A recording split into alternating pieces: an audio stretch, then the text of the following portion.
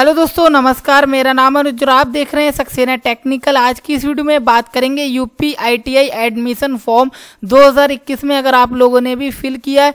तो दोस्तों, उसकी फ़र्स्ट मेरिट लिस्ट जारी कर दी गई है 2021-22 में। अगर आप लोगों ने भी किसी भी कोर्स या फिर गवर्नमेंट या फिर प्राइवेट दोनों किसी भी कॉलेज में अप्लाई किया है तो उसकी मेरिट लिस्ट यहाँ पे आ चुकी है। सो, आज की इस वीडियो में आपको मेरिट लिस्ट एवं अलॉटमेंट लेटर यहाँ पे दिखाने वाले हैं। तो कैसे डाउनलोड करना है और आपको कैसे न्यू एडमिशन लेना है, इसके बारे में आपको जानकारी देंगे।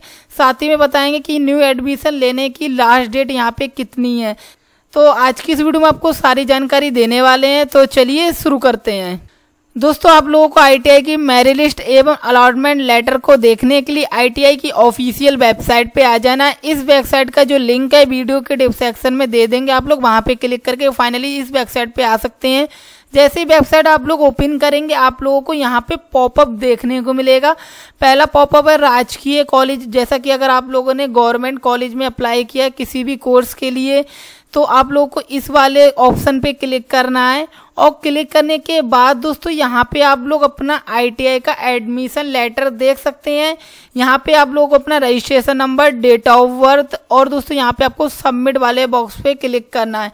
अगर आपका फ़र्स्ट मेरिट लिस्ट में चयन होगा, हुआ होगा तो दोस्तों आपका यहाँ पे एडमिशन लेटर मिल जाएगा। अगर आपको यहाँ पे फ़र्स्ट मेरिट लिस्ट में आपका नाम नहीं आया होगा तो दोस्तों आप लोगों को यहाँ पे सेकंड मेरिट लिस्ट का वेट करना है।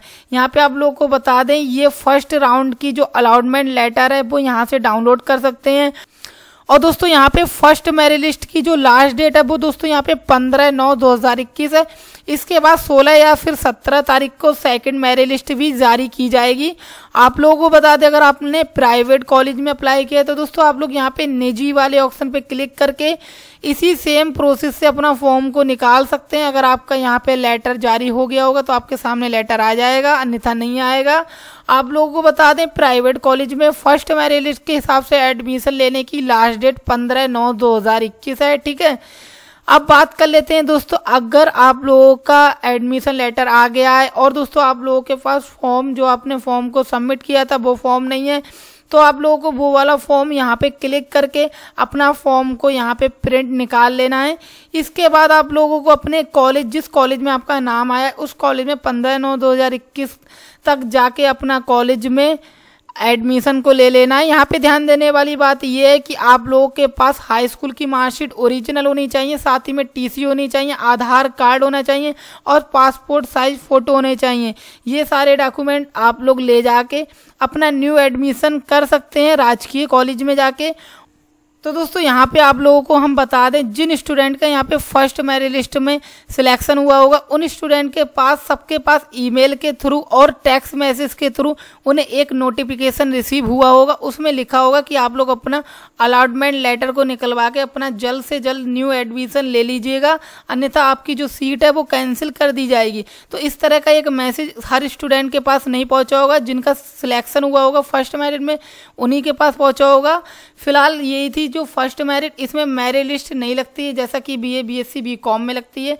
इस हिसाब से इसमें जो आईटीआई में कोई मेरिट नहीं आती है। जो मेरिट होती है, वो आपकी रैंक के हिसाब से और आपके नंबर के हिसाब से यहाँ पे अलॉटमेंट रिज़ल्ट आता है गवर्नमेंट हो या फिर प्राइवेट का। फ़िलहाल इसी तरह से आप लोग अपना अलॉटमेंट रिज़ल्ट को निकलवा के अपना न्यू एडमिशन फॉर्म को अप्लाई कर सकते हैं। अगर आपके मन में फिर भी कोई डाउट है तो नीचे कमेंट करके पूछ सकते हैं। फ़िलहाल यार, इस वीडियो में बस इतना ही। पसंद आई तो लाइक कीजिएगा दोस्तों शेयर कीजिएगा। अगर आप लोग इस चैनल पर नए हैं तो चैनल को सब्सक्राइब कीजिएगा। हम मिलते हैं एक नई वीडियो में नए टॉपिक के साथ। तब तक के लिए बाय बाय